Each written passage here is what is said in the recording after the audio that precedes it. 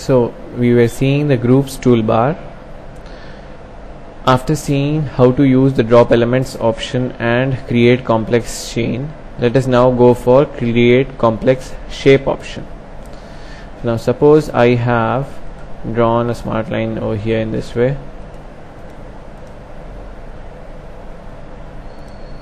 And I did not close this. Now go with right click and leave it as it is. It's an open profile right now next we'll choose the option called create complex shape. When I select this and the method as manual I'm going to select each and every line.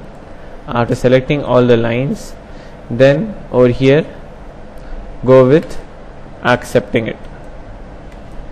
And right click that is left click and then right click accept and then reset. Now when you choose this you will see that not only that all the elements have been combined together into one but also the open loop has been converted into a closed loop. This line we got it. When you go with the shape option. Unlike this if you go with create complex chain suppose I draw again over here an open loop in this way right click and now I'll select create complex chain option. Select all the lines and then left click outside and then right click. That is accept and reset. Now when you check it they will be joined together but it will not be closed. That's the difference between create complex chain and create complex shape. In complex shape we'll be able to convert it into a closed loop and not only that we'll also be able to provide some color over there. Now let me go with right click create complex shape you can go with the area filling options as well. Now instead of each time selecting all the lines manually you can go with the method as automatic as well. Click on automatic and now when you click on one line and then left click outside anywhere in the screen all the lines will be selected. You can even go with the fill type as opaque and choose some color. Left click and in this way the color has been added right. Sorry the color was white uh, whereas over here instead of by level you need to select the color. So I'll draw this this time over here. Right. Now when you're drawing it in this way right click select create complex shape solid opaque automatic method of selection. Select any one element left click and accept in this way it is going to be filled completely with whatever color we choose over here. Okay. Right. The first time it came in white color because by default the attributes we had selected it to white color. Right? Okay. That is about your create complex shape option. Right. Click create complex shape automatic select this and left click left click and right click in order to accept it. That is your complex shape. Therefore whatever objects you select select all delete. Suppose you have a rectangle in this way. Let me choose this fill type to none and attributes to by level. Okay. Now after having created this rectangle if you select it the entire rectangle is getting selected.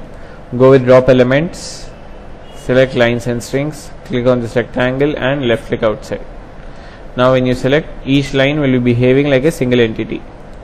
You can move these lines as well in this way. Undo undo again. Right. Now it's a closed entity. I'll break it again.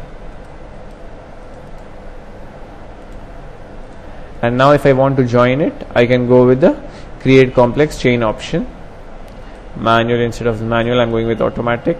Select this left click and left click again to accept it. You can see that the entire object is getting selected at once. Okay. Now let us next proceed towards the next option which is create region.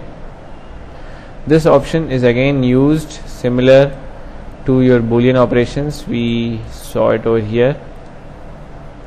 Select this you can go with intersection union difference and flood. Select intersection option select this and select this. Then left click outside and right click.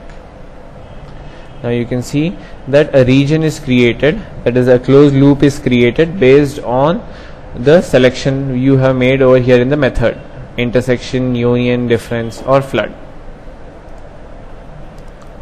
these options we have already seen in hatches and patterns. The same comes over here. That is you are going to get the common portion between the two objects. If you do not want this if you want to have both of them overlapping each other that is I have this and this right click select this I can go with the keep original option after which when I click on this and left click on this again then go with outside left clicking and right clicking. That is accept and reset. Now you can move it. You can select this rectangle go with the move option and you can move it in this way. You can move this option this object as well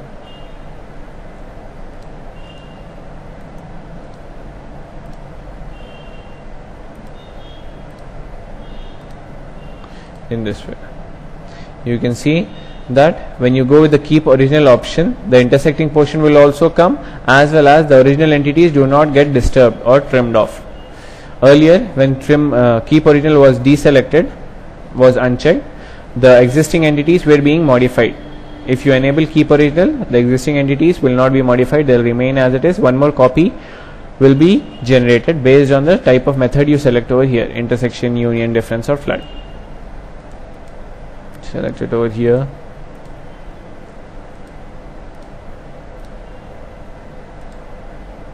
Select this.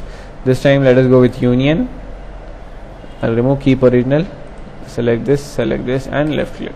Right click to uh, reset it. In this way you can go with the union option. I'll go with undo. Let us go with the difference. Select this then select this left click right click. That is the difference option undo again. And last one is the flood. Select these two points over here and right click outside. In this way you will be obtaining the flood. Alright. Let us now go for the next option add to graphic group first let me select everything and delete it choose the line option and in order to go towards the origin I'll type in over here 0 0 enter 0 enter. After which I'll specify over here 10 enter and y value I'm going to specify 0 enter. Left click right click. Now go with fit view. This is the axis pan it over here. Okay. Now so far whenever we were trying to use these tools such as move modify copy move parallel scale etc all those objects all those tools we were using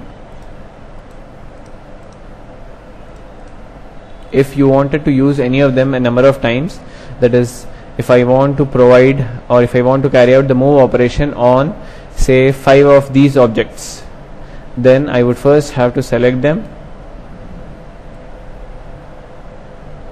This completes four. Con press on control button select this. Now five of them are selected. Now go with move select it and move it over here.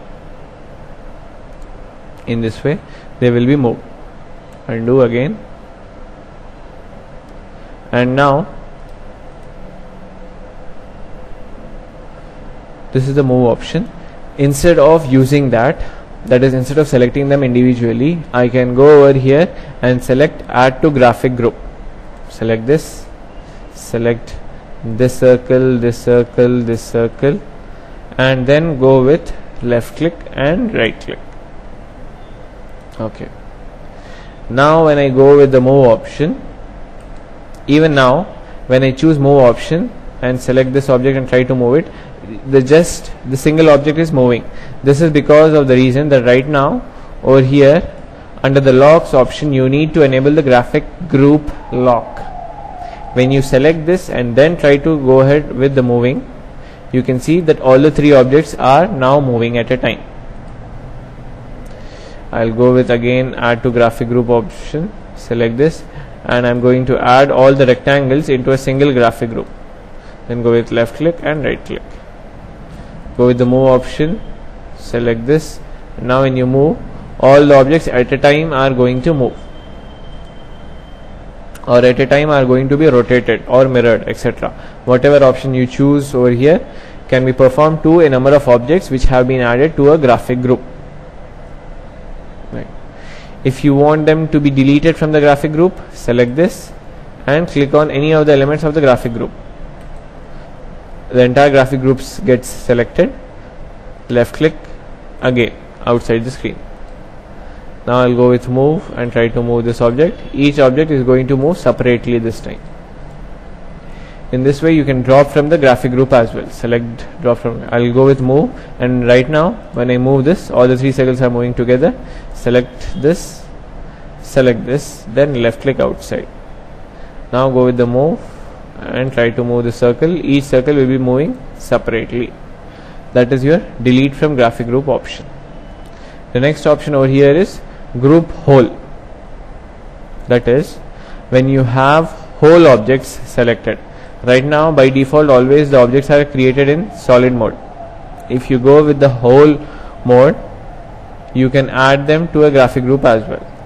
I'm creating these rectangles over here. Okay. Select group hole. Select this. Select this. Select this. Select this. then left click. And right click again now I'll go with the move option again and select this. All objects that are together created into the into the form that is the fill type as hole are going to move together or are going to be added into a single graphic group. That is your groups option groups toolbar. We'll close this toolbar over here. I'm stopping this session